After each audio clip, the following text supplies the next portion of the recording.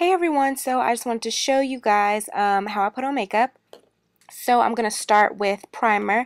This is Prime Time by Bare Essentials, Bare Minerals, Bare Essentials, um, and I'm just focusing focusing it on the areas that um, I like the foundation to stick more or the BB cream to stick more, and that is my um, eyes, and I'm putting it on my lips in case I want to put on lipstick and just like where any blemishes are so the BB cream like sticks better and um, to reduce oil. So now I'm going to put on my BB cream in medium, the Smashbox, Smashbox Camera Ready um, that I talk to you guys about all the time. And I just kind of work it into my fingers and I start where the blemishes are and I like to focus most of it um, in blemished areas and on my under eyes. I'm just kind of working it in now. Um, it's just to make it easier for when I use a brush to blend it in, as you guys can see. Um, so I'm putting it on my nose um, and just kind of focusing on the crevices as I um, brush use a Forever 21 foundation brush to kind of smooth it out. Now I'm setting it with um, the De-Slick Smashbox, I mean De-Slick Urban Decay um, translucent powder, compressed powder I guess, and now I'm using the De-Slick finishing spray before I put on the um, blush and the bronzer just to make sure I'm controlling for oil. And I just use three sprays to let it set in a little. Um, and now I'm using a Rimmel London I think it's called like Summer Sand or something palette.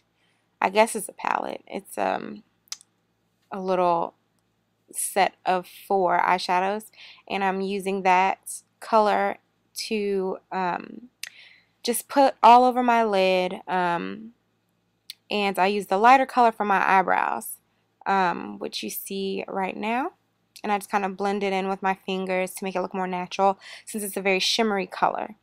Um, and now I'm using the Tarte Amazonian Clay bronzer that they have and a Clinique blending brush, um, which obviously isn't used for this, but I think it helps me apply the bronzer better.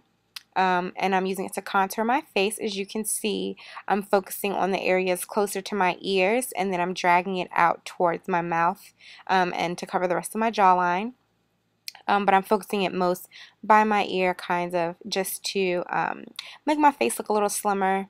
I don't really put it on my nose that much anymore because I don't really think it does anything to be honest. Um, so yeah, you can see me working it in and now I'm using the um, Oh yeah, the clay, the Amazonian clay was from Tarte. This is from Tarte as well. It's in the color Doll Face. It's just a blush. And as you can see, I'm not focusing that much on the apples of my cheeks, but on the side because I feel like it fits my face better. Now I'm using Amethyst um, lip gloss from Lorac in this little CD case that I, it's called a CD Greatest Hits from them. And now I'm using the MAC Zoom Lash, which I don't really like that mascara that much, but I paid more for it and um, it gets the job done, so I'm just trying to get rid of it. um, but I do like the L'Oreal Vol Voluminous Mascara better. Um, and now I'm just kind of getting ready by um, putting on earrings and a pearl bracelet and this little hair tie. Um, and now I'm about to start focusing on my hair. So I take my hair out because it was clipped up to put on the makeup. And I'm kind of, um, I had a clip to tie it, to twist it on the side. And now I'm combing it out and I'll probably put another twist in it. Um, and I'm just kind of working it out with my fingers so I don't pull out too much hair when I use this brush, which is a Rimmel brush or Remington brush. So I hope you guys enjoyed this video and this simple natural look.